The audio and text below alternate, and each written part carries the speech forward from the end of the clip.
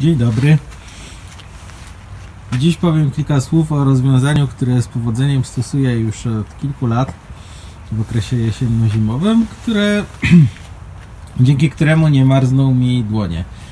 No, dłonie i stopy są najbardziej oddalone od korpusu i z tego względu są szczególnie narażone na zimno.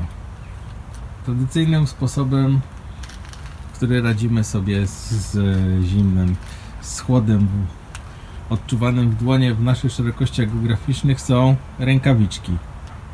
No, rękawiczki dobrze się sprawdzają, o ile zachowujemy ruchliwość dłoni. W przypadku jazdy na rowerze dłonie trzymamy często w sposób nieruchomy na kierownicy.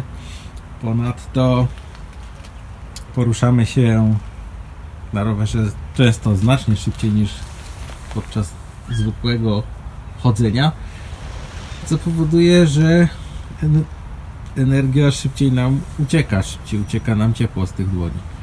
Stosowanie rękawiczek ma też tą wadę, że zmniejsza nam ruchliwość dłoni, utrudnia operowanie na manetkach znajdujących się na kierownicy czy też klamkach hamulcowych.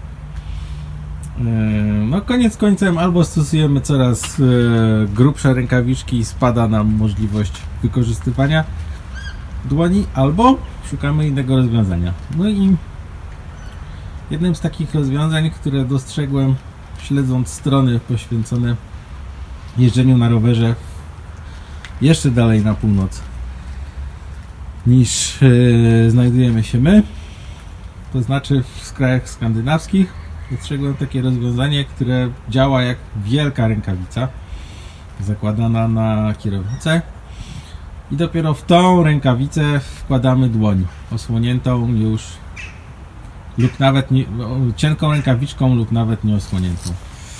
Tu przykład takiego rozwiązania.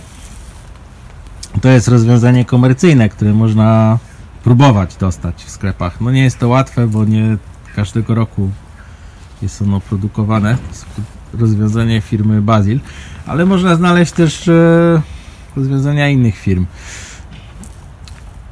Hmm, przede wszystkim sklepy z odzieżą, w tym sklepy rowerowe dosyć rzadko sprzedają tego typu artykuły.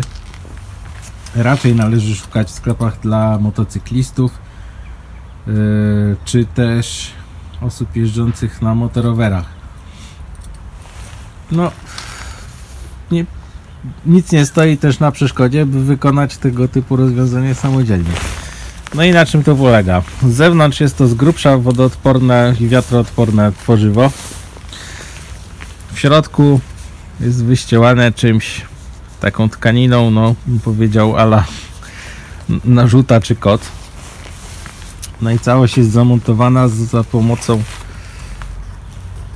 po prostu paska i klamerki na kierownicy. Zresztą jak widać ten pasek nie jest, znaczy klamerka nie jest wykonana z materiału, który jest odporny na korozję. No i teraz rozepnę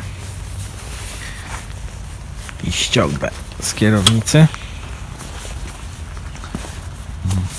No więc jak widać jest to nic innego jak takie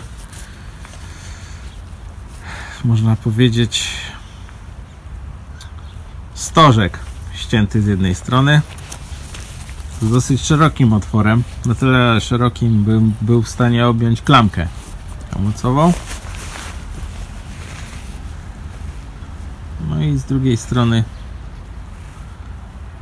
wygląda to tak. Więc naprawdę nic nadzwyczajnego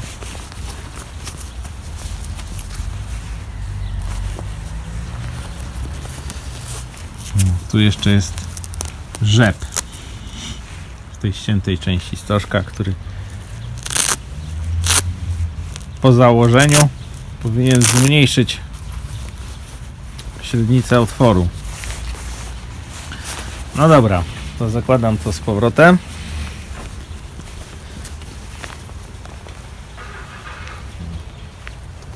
Wyciskam.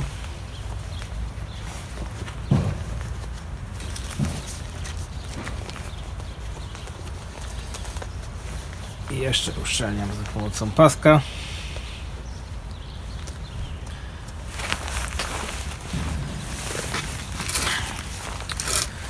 Otwór jest na tyle duży, że mogę swobodnie operować klamką. No gorzej z dzwonkiem. Dźwięk dzwonka jest wyraźnie stłumiony. Także coś za coś. No, nie ma rozwiązań idealnych. Wadą jest dodatkowa masa. Muszę przyznać, że to rozwiązanie bardzo mi pasuje. Stosuję je już od lat.